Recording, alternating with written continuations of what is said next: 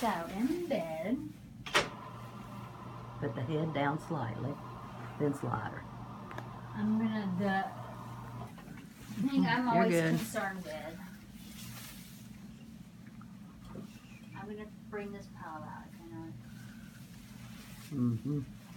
Is having the, the pillow, having this arm protected. So I'm gonna bring this arm, I'm gonna go from the shoulder.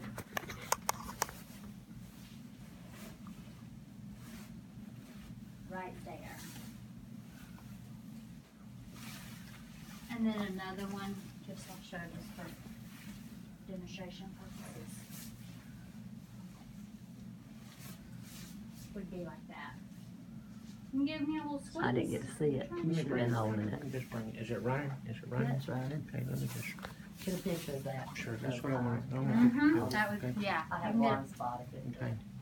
You wanna get a picture of that I just wanna see the pillows in the position, okay, so everybody can, And again, if you wanna do the same thing on the other side, so she's nice and symmetrical, you can do that as well. makes you wonder if she wouldn't be more comfortable that way Yes, she occasionally. probably would be. You know what I mean?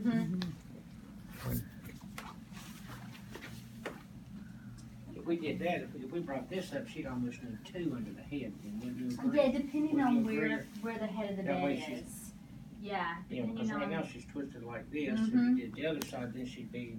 yeah, if you've got a full load of pillows, yeah, then. she'd Oh, be don't two- worry about two under that. There's a her full load up there too. Okay. And then her, with her feet, which PT may go over this, I usually, we float the heels. You don't want these heels resting on the bed. So we float the heels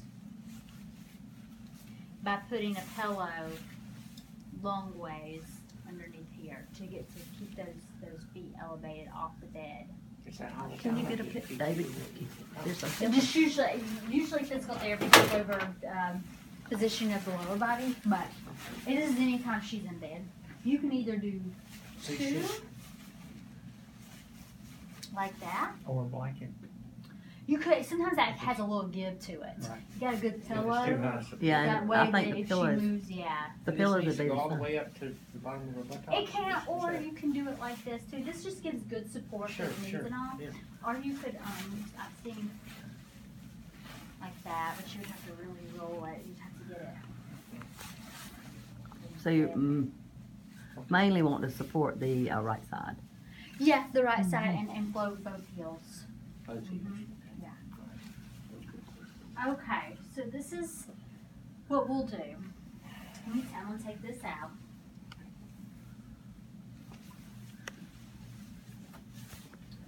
So let's, David, if you're gonna be doing a, the majority of the